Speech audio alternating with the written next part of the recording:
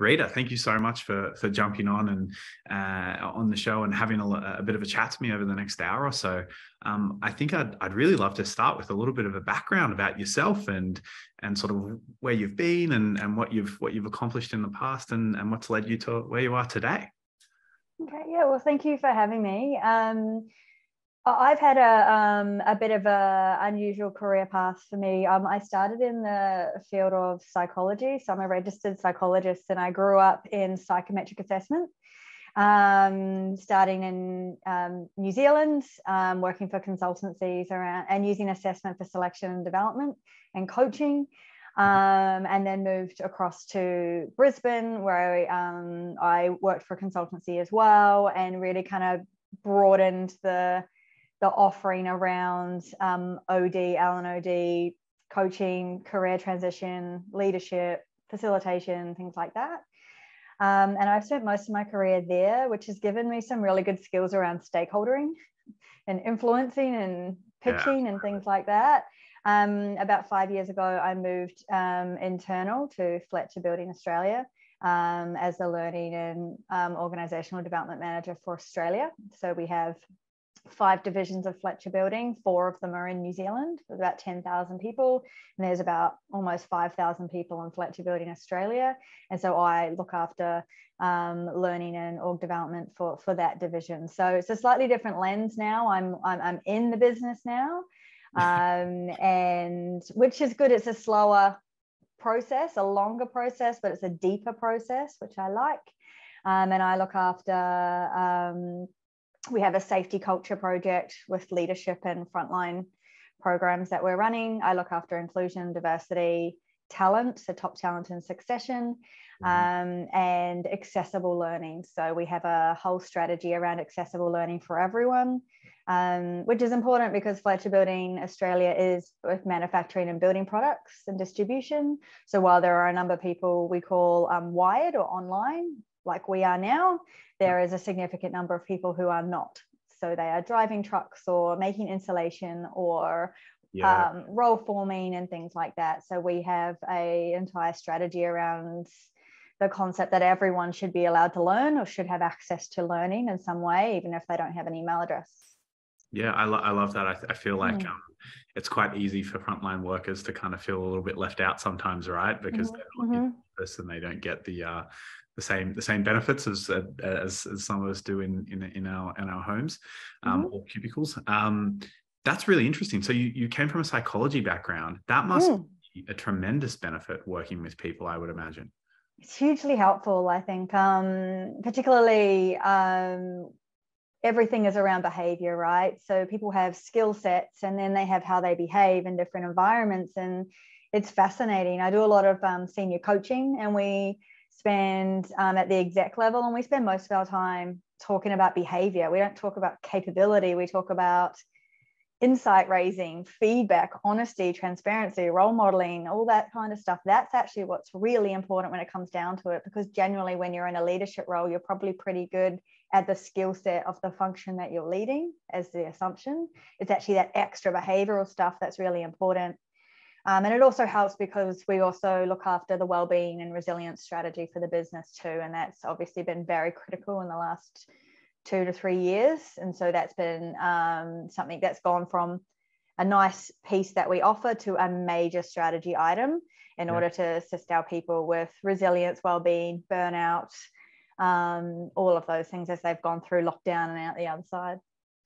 Yeah, that's that's that's unreal. And it sounds like you get quite a lot of access to the leadership within the business and mm. that they seem to be quite forward thinking by the sounds of it then on, on the l&d front.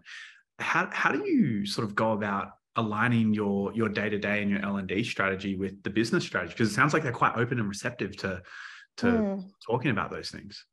Yeah i think that um i think if i didn't have our l&d offerings aligned with strategy i just wouldn't get anything across the line so there's a few things that we do. Um, we have two reasons that we would be running with a strategy or linking to strategy. First is the business improvement.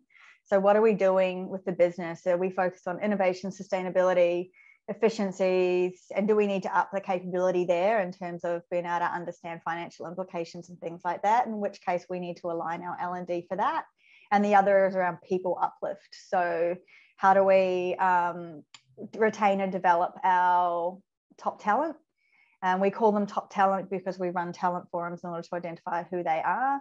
How do we do that to A, keep them here because it, they're thriving on it, but B, line them up to be successes for the business?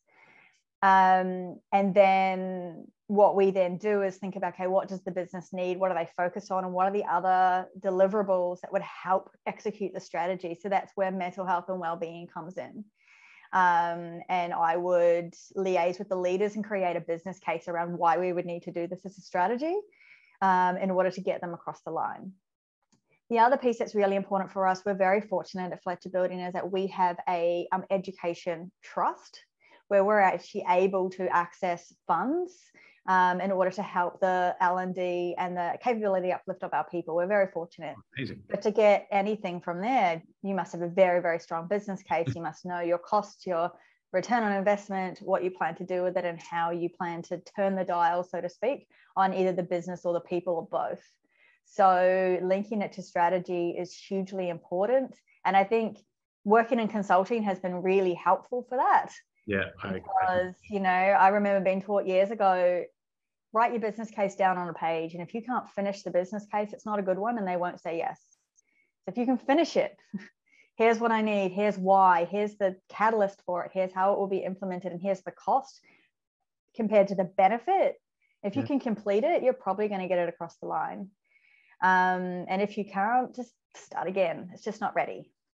Yeah, absolutely. That that's that's amazing. So there's sort of like three core things there. In in terms of the the business case, um, have you have you had any any sort of things go really well or, or, maybe really poorly where you've you've sort of realized hey i can i can maybe pivot or change or oh this was really really receptive that um that, that you've sort of learned from yeah yeah. So we'll start with poorly because lots of those. Um first of all poorly i think comes down to two things yep. in my experience. The first is timing. Yeah. And the second is um, know who you're speaking to yeah. and whether they are the right people. So the in an internal business, so if you're working internally, timing is everything. There's no point talking about programs and capability uplift and what you're going to do in June because budgets are set. It's yeah. too late now. The strategies are written. We need to be warming up to these conversations, well, in our business time wise in January. December, January, start talking about where they fit and why. And look, to be honest, if it doesn't fit the strategy or support the people, we've got to ask ourselves why we're doing it. Yeah. Um, and so I've learned the hard way trying to get in there with something that I think is really amazing. And it's too late. And they've said to me, cool, no, yeah. we can't do it. And then the second thing, which I learned in my consulting days, is just because someone's really enthusiastic about your idea and someone thinks, oh, that's so great. I love it. I want to implement it. Doesn't mean they're the decision maker. Yeah. And doesn't mean that they're the people who could say yes. And so understanding who are your cheerleaders, so just really pumped, but have no influence. Who are your influencers? So you need to get them on side because they'll help you. Yeah. Or maybe they've got the air of the senior person that you need.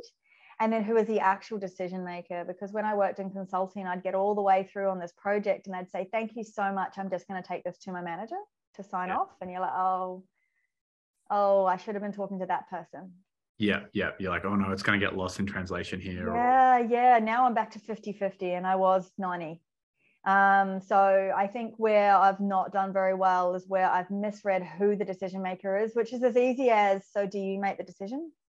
Yeah. Um, and timing, knowing when it's the same when I coach people around asking for a pay rise. Yeah. Don't do it in July done. It's locked in. There's nothing they can do about budgets. Like warm them up to the idea so they can at least consider it and put money away for you. Otherwise, they may completely agree with you, but their hands are tied. Yeah. So, and also storytelling. If you don't start tell a good story, if you don't show them how it works, if you haven't thought about their people. So, you know, if I want to take them off site for three days, I've got to be really careful. It's three days of lost productivity. This better be the greatest program of all time. um, to do that, you know, how am I thinking about the people? Am I running it in short modules? Am I really working so that they can see the benefit? That's that's if I haven't done that well enough in my past, that's where I've gotten uh, no. you know that's where kind of l&d falls into that's really nice we'll do that if we have time and that's the box you don't want to be in yeah. You want to be in that this is critical. Absolutely and I, f- I feel like it's very easy for l&d to get put in that box right? I, I i feel like i see that quite often where it's like oh yeah it's an l&d thing and it's like no no this can impact performance and metrics mm-hmm. and, and where we're going. Um, that's that's awesome. I really like what you said about about storytelling storytelling there and i feel like that's something that gets gets often a little bit lost. Um, mm. During that i guess that storytelling process or where you're framing hey this is why we want to do something is that when you start to look into the different learning activities that you might execute on or or, or those components? And and sort of how how and what have you seen work in in that space in in the realm of like okay well these are some things that actually you know we implemented and they work really well and it lets you sort of set that narrative yeah I think um, knowing your stakeholders is really important. So I have um, really strong um, HR leaders. So we have the Australian division and we have six businesses that sit underneath, well, kind of five and a half yeah, that sit underneath. And each of them are, we have heads of HR, but we also have executive general managers. And so I've worked really hard on relationships with our senior leaders, and so have they to to get to the point where, where you are going to recommend something, they say, okay, yeah. Mm. Um, and so it's around, first of all, doing your homework and getting to know the business and know what the business needs. So we have almost 400 sites um, all around Australia. That's very difficult. You know, if we ran a workshop in Brisbane face to face, people in Brisbane still have to travel and have accommodation and in Queensland because it's a big place. So it's around making it work. So, for example, in um, and getting them on side first, because if the leaders are on side, they will make the time to do so. Yeah. So when we came five years ago, um, we wanted to really create a learning culture, a culture of learning where learning is pulled rather than pushed, and that's yeah. a hard thing to do. Um, so we made learning smaller and bite-sized and relevant so when we um, come 2020, we decided we needed to do so much more in mental health and wellness. Um, I got the senior leaders together and we told the story of mental health. And we also told the story actually of um, suicide rates and particularly in the regions because our demographic is um, tw- is 26 to 48 males and wow. all of a sudden, we are the dominant demographic now in this mental health category mm. and an at risk category. And what we talked about that. And once we told that story and talked about it, the response I got from the leaders was, What do you need us to do? Mm. And so when you get them there, you think, A, I've made a good point. This is definitely important. And then what we offered was um, support that was tangible for the business. So it wasn't, we actually steer away at the moment and for the last couple of years from anything face to face, anything long. Um, if it is face to face, it's short and it's bite sized because I went to a workshop with Dr. David Rock a number of years ago for the Neuro Leadership Institute, and I changed everything I did about L and D. Like walked yeah. out of that workshop and went, "We're doing it all wrong. You need three minutes to learn something." Yeah.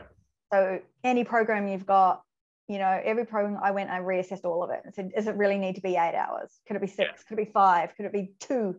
How are we doing this differently? And so with this mental health strategy, we had options for using an app and options for 45 minute webinars, but we also turned things into toolbox talks on practicality. And so what we were able to do is give ownership to the businesses to decide what they wanted to use and when. So people don't like being told what to do. No. um, they like to have a bit of control themselves, and they should. It's yeah, five businesses, so you know they're all a little bit different. So they like to be able to be given the framework and then support in order to deliver it. And then they like to be able to go, you know what, I'll choose the toolbox talks, I'll choose the webinars, that's what we'll do. And that's really when you're looking at shaping a solution, you know, it's best to get out in the business and hear you know hear what they're saying hear what is going to work and a, sometimes a poster and a cheat sheet and a toolkit is what we call them out on site or on those notice boards in the lunchroom is actually hugely beneficial um, as opposed to necessarily jumping on a webinar so it just we give those different options and we've definitely moved away from the longer programs mm. unless we think it's valuable right into the bite-sized deliberate um, development oriented and kind of just in time learning. So that's kind of where we're moving to or have moved to. Yeah, that that's that's that's unreal. The um the sentiment I think of of reducing that down is something that that often gets overlooked. I was talking to uh, the former head of L and D at SpaceX, and I sort of had a million questions. I was like, "Oh, you guys send things to Mars, literally. Uh, what's your learning program like?" And yeah. their philosophies is literally they say, uh, "Do less learning," and by that they don't mean reduce options. What they mean is we have an outcome to achieve and how can we get there as quickly as possible uh, because people really appreciate that. Um, so I, I, definitely yeah i definitely would echo that that sentiment. You, you mentioned a few of those things like a, a workplace toolbox and some things that you sort of might um, might drop in uh, and and and out of someone's day in, in a few minutes how do you how do you sort of measure the the impact of those and and potential like I know something like a mental health program might be a bit different to something we're trying to uplift capability obviously but how have you gone about sort of assessing you know what what's been working for you? Mm-hmm. um, it's a really good question because we need data for momentum. Yeah. So we need to be if we're going to say this is going to work we better show that it's going to re- uh, work to work. Mm-hmm. so um, I've got a couple of great team members who are very good at this. And, and what we do, we have a few philosophies. The first is everything is a pilot until it's not. Yeah. So we're brave. I went to a conference a few years ago and heard from some real big powerhouses and was completely inspired because they decide to fail fast.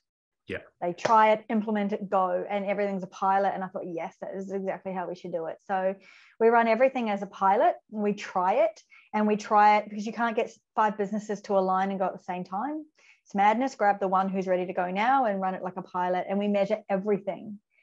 So we actually we think about what it might impact. So when we're looking at um, our top talent, we have a top talent academy and a top female talent academy.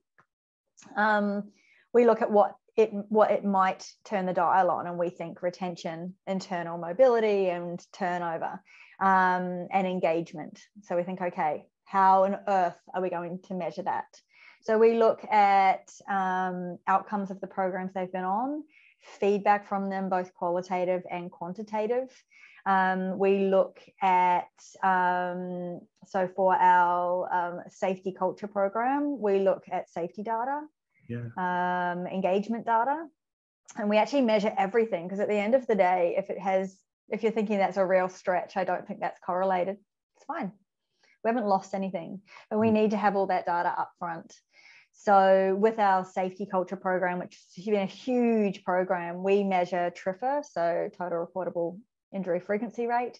We measure um, our safety culture using a Bradley curve model. We measure engagement, which we don't, we can't attribute solely to that, but when we measure the call, when we look at the qualitative comments below, we can attribute it to that. We mm-hmm. gain their feedback too, which you know it's arguably it's their opinions and it's very subjective, but we still collect it. Yeah. Um, we get quotes, we get interviews, we get reflections, and then we look at some of the harder data as well to see if there's been an impact. Um, we also measure um, across the business, we measure learning completion. So that's from our anytime content where people can pull the pull the content like micro learning. Yep. And we also, so we can see um, what people are learning and how much they're learning. And we um, also measure hits to our um, SharePoint sites and our learning hubs and things like that to, to see what they're using, what they're looking at, and hopefully that it is increasing based on what we're doing with the content. So we measure, very long winded way of me saying, we measure absolutely everything so that we can understand what's going on. And if we're having an upwards trajectory and it drops, let's go check it out. What has happened? What has changed? Is it a business impact? Maybe they've been doing stock takes, so it's fine. Um, but what is it that we're doing? And because we have that pilot mentality, it doesn't matter you know, we try something, it's not working, stop, pivot, move forward, keep going. And everyone loves being part of a pilot. It's actually really easy to get people on a program if it's a pilot and they're the first ones. You, it's a lot. There's a lot more momentum going on there. Yeah, absolutely. I think being part of something a bit new and exciting is, mm. is, great, and you can sort of use that momentum to propel you into into getting some awesome results. Mm. It sounds like you've got a really mature uh, data sort of analysis and collection um, uh, setup or uh, whatever you might refer to it as. Um, what what and sort of how do you decide in terms of technology to implement? Because it sounds like you've got some some really cool stuff that that you, you are collect collecting and capturing there. Uh, and i feel like l&d is is low in the totem pole sometimes of tech stacks and and they sometimes might not get the same the same budget as and, and love as some other areas. Mm. uh, how did you sort of decide what your tech stack looks like and how have you gotten to to where you are well, actually, it's a really good question because we are, um, our head office is in New Zealand, and actually, to a certain extent, um, while I look after LNOD, I don't decide on a lot of those big things because it's a group wide initiative. So, in terms of our LMS or the way we run things, we, we run with whatever the business does. I think what we do that I'm pretty proud of my team for is that we look for all the little things that we can find in order to help us. And sometimes it doesn't need to be too complex at all. We have this philosophy that if you want to do something, it's probably been done in another area of the business some time ago. So go find it and utilize that. So when we're collecting data, we will collect, we have a platform to measure all our safety data. Mm. Um, we actually just use things like Teams forms and things like that to map data. We have formulas. We have a lot of business analysts that can help us to create formulas and tables in order to, to measure what we're doing in terms of our outcomes. And we have a lot of, we have an HR system that we, we measure our people stats as well. So what we do every month is we have reports that we're pulling and generating, and then we're filtering them out. And then we're actually sitting back and looking at them. And in terms of getting L&D up there, I just started creating monthly reporting data and I slotted it into their monthly um, ops packs. And oh. they were like, cool, thanks. Yeah. So I don't think they didn't want it in there. Uh, I think that they were always just looking at people's data and things like that. I was just like, hey, here we are. Um, and I think that you can look at that trend data too. And then we have a newsletter that goes out monthly. It's just funny how much traction a newsletter gets, but it, they really like yeah. it. Um, so we've given ourselves a page in there with, and we share the learning data and things like that. And we like to gamify things. So people love a bit of competitions. And when we show how all the business units are going and this one's behind the other, they mm. want to get up there. Um, we ask them to send in photos and, and things like that. And we give out prizes and things like that. People like a little bit of reward and a little bit of incentive. And that really helps us to get our, our data up. But we use the data to then show success and then we use the data to then help us secure budget or um, programs in order to move forward again. So it's kind of our reason why mm. um, in order to help us. So yeah, it sounds like you've you've almost got like a self fulfilling cycle there, where you've um, it sounds like you've made the most of what you had, regardless, mm. Uh, mm. which like fantastic. I love that you've just sort of gone, hey, we're a big business, like let's just look around. I think this stuff's probably yeah. done before. Um, yeah and, and sort of made the most of what you've had, which has then led to people maybe being a little more open. And have you found that the leadership after they've seen that, did, did that feel like it unlocked some doors where they sort of saw you you making a bit of traction, like, oh, maybe we should give a little bit of love here? Is that something that sort of organically? Yeah, it does. Yeah, it does. And they start reaching out anecdotally and things like that. And I think for them, one of the biggest uh, struggles we have, mm. and will be similar to other businesses, is that we are pressed for time. Yeah. So resources are tight. There's a low unemployment rate. We've got a lot to do. Um, demand is here and supply is here. You know, we work really, really hard so people can think, no, I don't have time for learning. So we get a lot of traction where we've really heard the business and we have really great um, people and performance functions in each business and they actually roll out their own l&d as well so around the technical skills and things like that and they have their own little initiatives that they are very successful with. So um, we get traction there. We either support them or off they go but we talk really well together and i think um, for us it's just about hearing the business and the more you can hear the business and to be honest stop when they when you think it's best to stop like pause yeah. and hold which is something in consulting i've never even heard those words right? You just barrel ahead. Um, knowing when to stop and when to hold um, is re- almost as important as knowing when to launch. Yeah. you know if the timing's not right we wait. You know sometimes like we are l&d so we're not paramedics. It'll be okay yeah, yeah. Actually, what's worse, rolling it out and launching when they don't want it and they're busy and flat out, or waiting saying, We heard you, we're going to do it here now. So that consultation with the business is really important.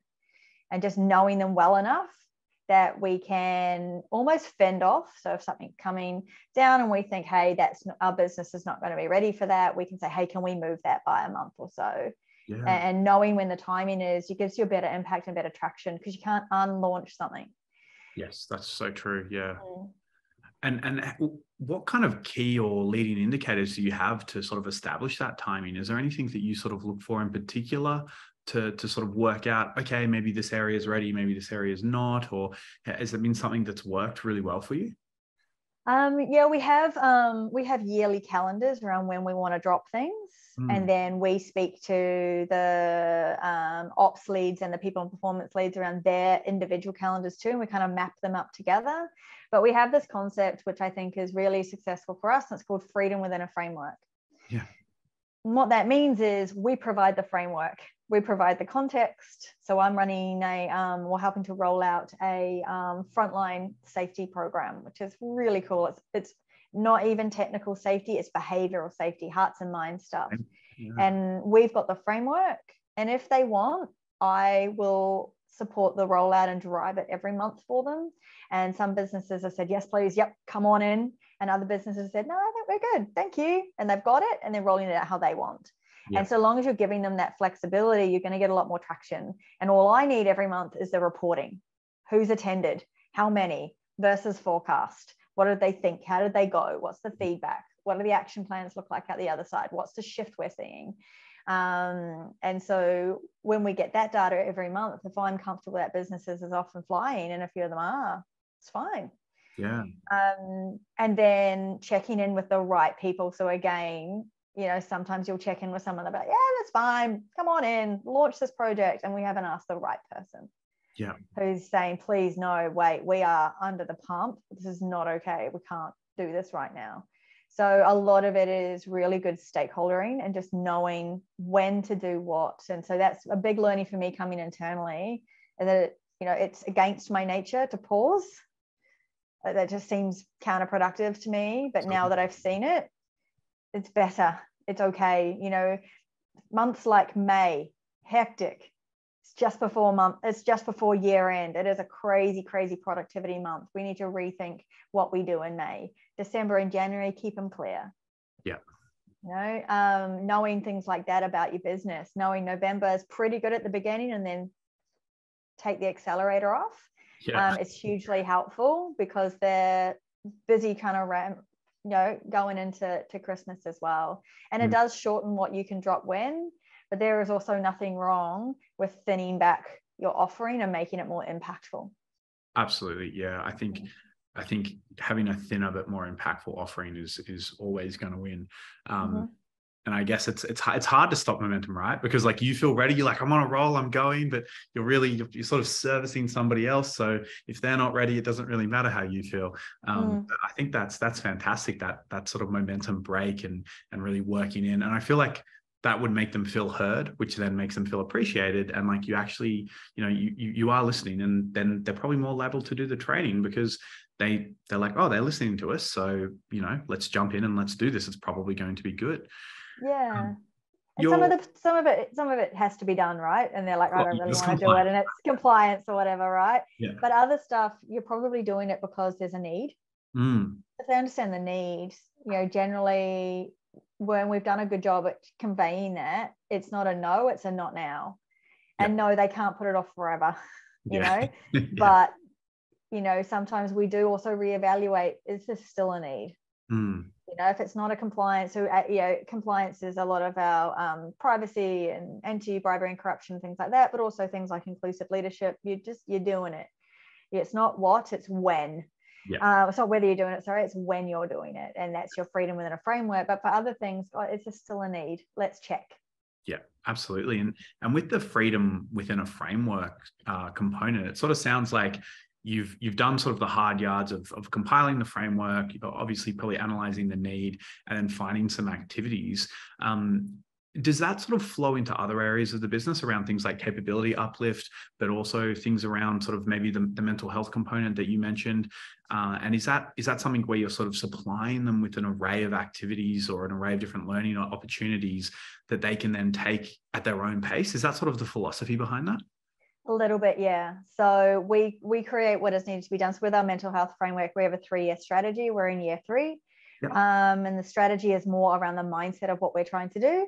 Mm. Um, and then we would have a calendar of things that that we are offering. And then we would so for mental health and well-being in particular, we have um, our HR teams that are assisting to roll it out. So we would give it to them to roll it out in their business. Yep. And then we also have champions. So we call them um, ambassadors and they are upskilled as well in mental health and they have the keys to do it too. So they're the ones out in the business there's 200 of them um, chatting away and, and, and finding a need and then it will go up the necessary chain to get a, a manager's approval and off they go. Yeah. So there are elements that everyone's doing together and there are elements that we can pick and choose from and we find that particularly useful. Um, and it actually um, it sees our data usage. So we we partner with a company called Groov. They have an app so we can see data usage going up. Yeah, great. That's fantastic. And do you apply the same sort of methodology to capabilities? Are you using sort of a capability framework based approach, or are you, yes. sort of gone down a different road with that? Yes. Um, so we've a really um, strong focus at the moment on succession. Yep. So growing our um, our future leaders from within. So we actually have a clear capability framework um, we also have clear success profiles as well. So, and it's competency based. So we know um, that if you want to be head of sales in a particular business, these are the competencies you need, and plus some extra criteria that you need.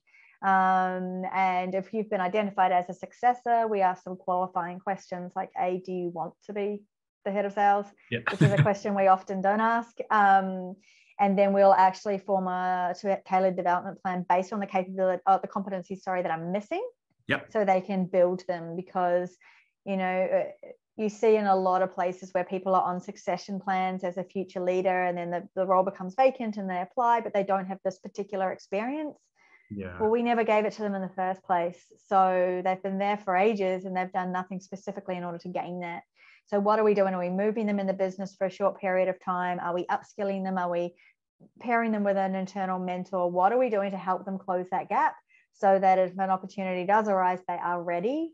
So that's where we're particularly focused on um, um, our capability framework to know what we need. So there's a bit of two things there, right? There's developing and retaining our people, but there's also this is good for business. Yeah. Um, and it's really important, particularly the candidate market at the moment. There aren't a lot of candidates around, and people are being headhunted all over the place. Mm. Why would our people stay with us? Yeah, absolutely. So that's where L and D plays a massive role, and it it doesn't always mean oh Johnny's great, let's put him on a course. That's just yeah. not what it means.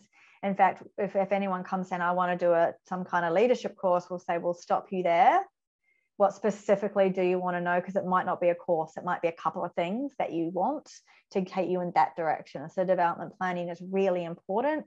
And to be honest something we really need to work better on because that is the key. Like development plans should be really bespoke they should be individual and it might be that you actually just need a coach or you need a mentor or you need to do this little skill set piece on financials or p&l management as opposed to generic leadership program over here which yeah. is going to take six working days out of your time and it's not going to make you a better future successor anyway. Yeah it comes back to having impactful training right? Like we, mm-hmm. we actually want this to be impactful for you. How do you manage the uh, like the benchmarking of those capabilities? So how, how, would you sort of i guess go about sort of saying okay there's there's a couple of, of gaps here and and and we've established those and we're going to try and you know plug those so that you're ready for succession. Um, how do you define those? How do you understand what those are?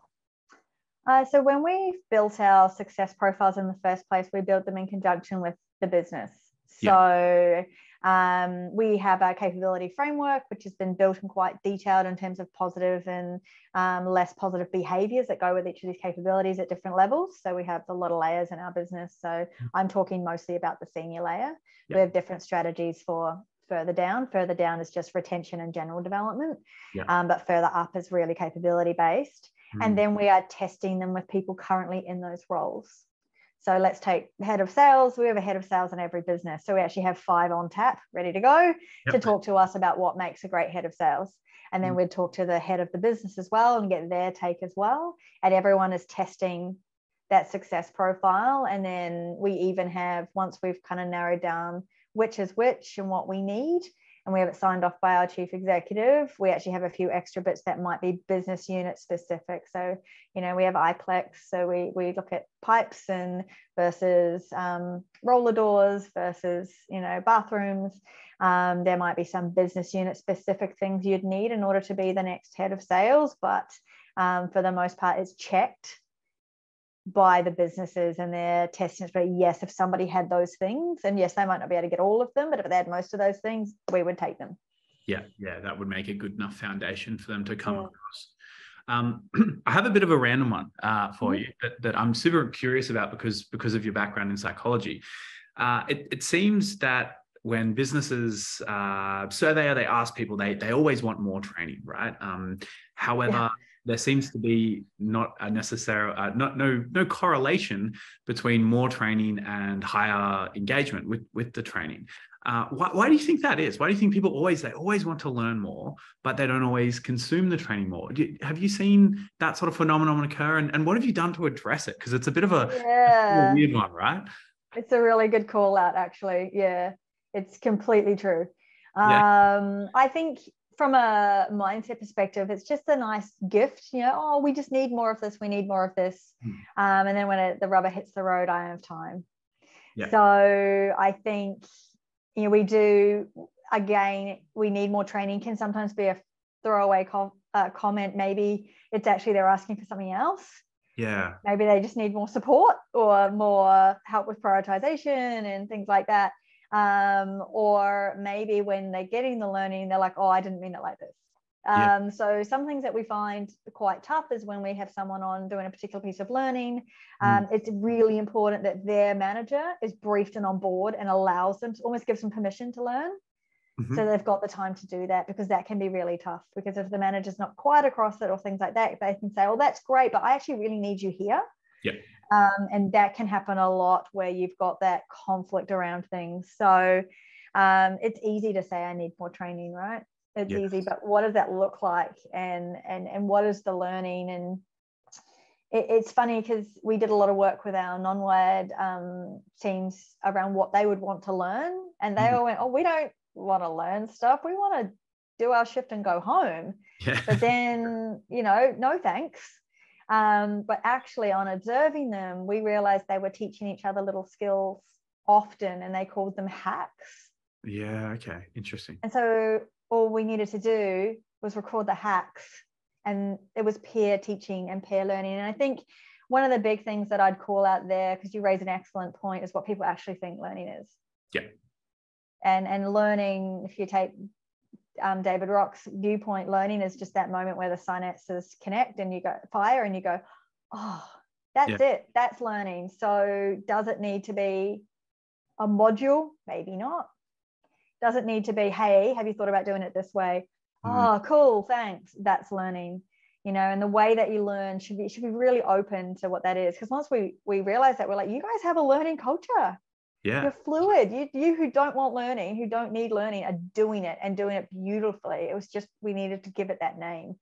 Yeah. um you know i think we when we first moved into the learning and the flow of work piece and and that micro learning um, one of our senior leaders was over from new zealand and he said to me i said how was your weekend? or something. He goes oh i changed the light bulb in the roof of my car and he said it's really hard to do because it's a German car. yeah. And I said, Oh, well, how did you do it? And he goes, Well, I looked at the manual and it was a thousand pages long. So I threw that on the floor and I looked up a YouTube clip that was in German, but in seven minute YouTube clip, I learned how to change the light bulb in my car. And I was yeah. like, that that's learning. Yeah, absolutely. He chose to t- spend seven minutes doing it in another language and it was still more helpful to him than the thousand page manual that was on the floor of the car and that's yeah. how we should be learning. If it's worth being there for a day of course but we need to test whether it really is and what format it needs to be in. Mm-hmm. and people get very you know nervous about the virtual learning space and want to get back to face to face as soon as possible. And yes there's definite merit in face to face but we need to think about what we're doing and why and, and what works best. You know when we talk about learning there's really only three things you need to do it's just introduce a concept allow them to experience it and then allow them to reflect on it socially talk about it and reflect on it or write it down or whatever it is. And that experience piece is either watching a video, watching it live, experiencing it themselves, whatever it is, so that they get the aha. And then they need to talk about what it is. And it doesn't matter what format that comes in. Like the hack that these guys were doing on night shift without even knowing it versus our, you know, four hour half day workshop on inclusive leadership. It it's just it doesn't matter so long as those three things are occurring. It can be anything. And we need to be open to them doing that because they're more likely to do it. Yeah, absolutely. I think uh, YouTube is generally regarded as the number one learning tool, right? Yeah. Like, like even my my mom, I I, uh, I, I bought her a vacuum uh, for, for for Christmas. She really wanted this nice Dyson, and it, it, something happened. It got caught up, and I was like, "Oh no, yeah. take it to the shop." She's like, "No, no, I've watched a YouTube video on it, and I, have taken the whole thing apart, and I found the problem. It's a common problem, and I've put it back together. You know, it's just something yeah. that is wasn't a, a, thing that was available um, until sort of recently, right? Uh, the the hacks I think lend really well to that style too, right? Where it's something where, hey, if we can capture this and we can record it, and I think it comes back to impact. There's trust there because your coworker's done this, uh, and you can see the business, the impact on your day-to-day life. It's easier to maybe it's undo that bolt or change that light bulb in the car or whatever it might be. Um, how, how do you go around about prioritizing the activities you do based on the business impact? Is that something that you, you sort of look into quite a lot? Yeah, I think we have um, to make it easy. Uh, we have pillars and key strategy items, and yeah. where we're agile is we're agile within those. Yeah. So we know they're coming. In terms of priority, uh, priorities, strategy is king. So is it going to turn the dial on the business? Mm-hmm. Is this going to increase retention because people are thriving? Or if we put them on way too many programs, they're actually burnt out now because they can't cope because they're trying to do the job. Yeah. So we will prioritize based on that. Will it turn the dial on the business? Will it support our people more? So we will prioritize things that are giving us good results as well. Like we piloted a mentoring program where we mentor across businesses. We didn't know how it was going to go. Yeah. Um, we're in our third year of it and it's getting bigger and bigger and bigger. So we'd prioritize that. Yeah. Um, cost also matters. So if something is um, a lot more cost effective, we will prioritize that too. We actually have found the social learning part of things hugely valuable. So your expert is standing next to you. Why are we not getting that person to lead a hack as opposed to bringing a facilitator in? Why do we need to do that? Yeah. Um, you actually gain a lot more respect because um, you know, we have a lot of people who work very hard in our business. And so sometimes if someone comes in externally, they're like, who are you? You don't know our business. yeah. What are you doing here? Um, but actually, we have someone else who's going to share something that they've learned or something that they've learned. We actually find that hugely valuable as well. And we'll prioritize that because it has so many positive side effects. It increases cohesion, engagement, productivity, general happiness, which we know leads to a safer environment and a more productive environment. And so we would prioritize things like that. But again, if it's not going to turn the dial on business, we're probably not going to do it. Absolutely. I feel like uh, when you do bring those externals into the, the risk is that they don't know the business. So then they uh, sometimes feel like they need to overcompensate a little bit. It's the same as bringing in a senior leader. And mm. the way that they do that is through maybe industry knowledge or processes and systems, which aren't necessarily that impactful and aren't mm. necessarily a big problem, right? So mm. that having those uh, co-workers, I guess, talk about those core impactful things, I think is such a such a mm. tremendous benefit to, to have. Yeah. And we do bring external people in, of course, but they they know our business really well. Yeah you know and i think it's around just that audience of it's not the teacher and the student it is the let's chat. Yeah. let's find out what's going on. Let's learn. Let's understand what we're doing here. And let's not be here for a minute longer than we have to. Yeah it's because we have work to do. Yeah mm. absolutely. Mm. so it sounds like you've had a very varied uh varied sort of career to date you've, you've, you've done a lot of things. If you had to sum up sort of like one or two or three of your biggest lessons which is this is always a, a, an interesting question to ask because it's a tricky one like what what would you pass on to another hr practitioner? Maybe if someone was say coming into the industry or or coming across to sort of work with you and they wanted wanted a bit of advice. I think uh, what would it be? Good relationships. Understand. Mm. understand where they're coming from. I mean, man, if you're one on one leading a team, if you're leading a function, if you're leading a strategy, understand your audience and what they need because you're more likely to succeed. People don't like things being done to them. They don't like change being done to them. They do if it was their idea and they were part of it. So I think it is spend the time getting to know people, getting to understand, and also identify if you're not that right person. So if yep. you've been trying to really build a relationship with a stakeholder and they're just not seeing what's valuable and you're not kind of getting that traction that you need, well, who do they listen to? Go mm. talk to that person, get that person to get in their ear and get that across the line. And I think that um, when you're building those relationships, you'll just be so successful if you just get in and listen and hear. My first three months of working here, I just went to branch um, in jeans and sneakers and listened, watched what was going on, met everyone, understood, made friends with people so that I could hear what was important to them. And then when you deliver what is important to them, they're like, see, they care, they heard. So I think that, and then also just be brave. Like we're not paramedics. Yeah. This is, it's okay. This is not, the urgency isn't there for us. We can actually, we have the luxury of giving something a try, making it a pilot. You've built good relationships. So if you fail, and we have, oh, that was terrible. Okay, move on. Next. What are we going to change? How are we going to pick ourselves up? What does the data say? So I think that I did prior to hearing those people speak at that conference, I would definitely perfect something and wait till it was perfect before mm. I rolled it out. And now just give it a shot. Absolutely. It's fine. And and you've got good relationships, so they know that's what you're doing. Yeah. You know, and if it fails, it was just a pilot. Yeah, yeah, that's right. Yeah. It doesn't go well. Yeah. I it's okay they don't need to be that scared of failing, right? Like it's it it it's something fail fast and fail often is is sort of a, a bit of a motto. Um, I actually heard something really interesting when I was listening to uh, some people at Atlassian talk, and one of the things that they said was they were asked about digital transformation. They were like, "We don't transform because we just constantly are trying to innovate," um, and it sort of made me realize, like, "Oh yeah, you're constantly innovating, which means you have to fail." And that's what they said. They said, "We fail, we stuff stuff up all the time, happens all the time, you know, but it's okay." Which then means we never need to transform. Um, so I, yeah, I couldn't I couldn't agree more with you. Yeah, it's funny. I was actually, my kids are really into this show about um, science and the brain and things like that. And they were talking about creativity. And they said creativity is two things. And th- oh, not creativity, so innovation is two yep. things it is enthusiasm and experimentation. And I was like, yeah. that's exactly what it is. So Just simple. be enthusiastic and try a lot of things and go, I wonder if and if it works keep going. And if it doesn't pivot. And i think with l&d while you've got big firm pillars and big firm deliverables there's a lot of movement yeah. um, within those. And, and, people won't mind if you're like you know what? This is not having the impact we needed. Let's let's go back. What do you guys think? How would you like it to be?